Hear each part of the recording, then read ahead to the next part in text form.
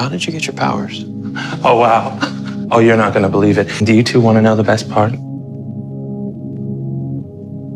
I wasn't the only one. This is where I came out of the Speed Force. And a wave of dark matter washed out with you. Allen returns, West leaves, move, counter, move. What's your point?